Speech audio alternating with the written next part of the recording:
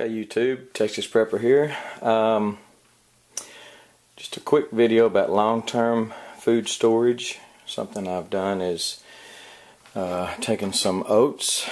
These are just rolled oats. Um, I put an oxygen absorber in the jar. Then I've got uh, the Food Saver, and it's the older model. It's not a by any means a new one. I, it comes with the uh, canister sealing attachment. Put that down on there.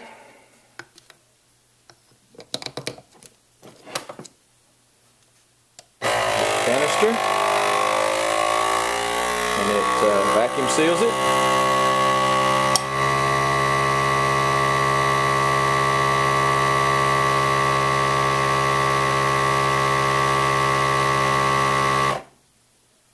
Okay. Listen to the seal break. Take the lid off. Seal. Now, probably wouldn't have to put the oxygen absorber in there. Uh, I did. It's a 100 cc. Uh, but uh, I would imagine vacuum sealing is just is good enough. I've got uh, two of these lids. One of them is for a wide mouth jar. The other obviously is for a regular mouth jar. Also, the extra oxygen absorbers that I had left over, when I open the package, you have to seal them up real quickly uh, or they will lose their potency. And I seal them in a wide mouth jar here. Uh, these came 200 to a pack, 100 cc, 200 to a pack. Uh, the pink dot you're looking at there is uh, lets you know that they are still good if the dot turns blue, uh, then all the, uh, well, they've lost their stuff. Whatever it is they do, don't understand how they work, but they've lost their, they've lost their ability to absorb any oxygen. So when you do uh, reseal yours, uh, make sure you can uh, you put the the dot on the outside of the uh, or visible from the outside, so you can check it and make sure they're still good. Anyway, uh, you can do rolled oats like this. You can do uh, dried beans, uh, pintos peas, uh, black-eyed peas, things like that. Rice would be good to do like this. I would imagine kept in a cool, dry place, these will last at least 10 years. Um, I don't know why they wouldn't. So uh, a good resource to look at on the internet is Dehydrate to Store dot com dehydrate to store it's dehydrate the number two store dot com it's a lady that has uh, some real good videos on this. She is uh, an expert on it been doing it for years and knows what she's talking about much more than I do. But this will give you an idea of uh, storing for long term but not you know not necessarily getting the big buckets and and whatever. If you want to do the five gallon buckets then there's uh, ways to do that. Oxygen absorbers diatomaceous earth, um, things of that on that line.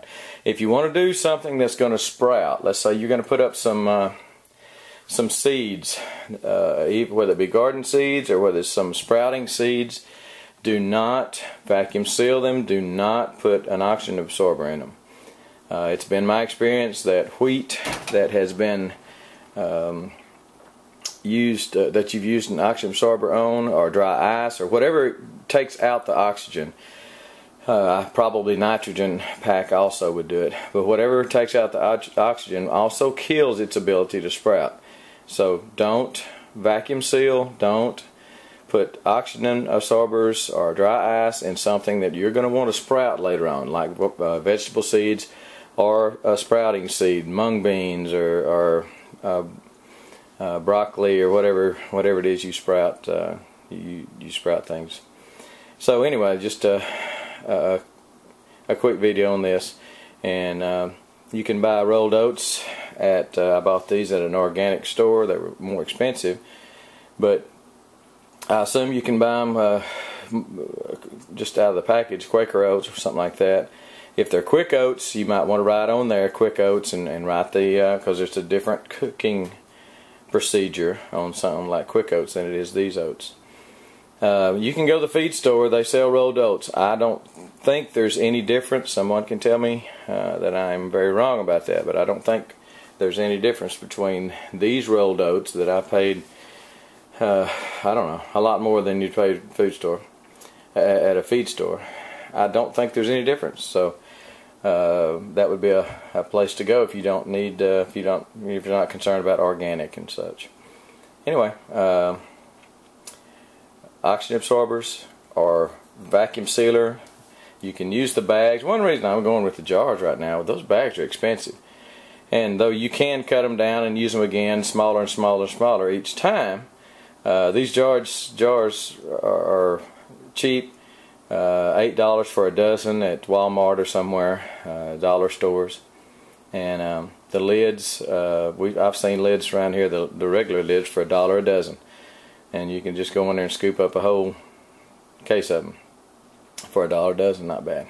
Anyway, um, do some long-term food storage. Uh, whether you do it this way or whatever way, I'm just telling you uh, uh, one of the ways to do it. You can do buckets, you can do whatever. But do you some long-term food storage. You're going to need it later. Okay? Texas Prepper. Gone.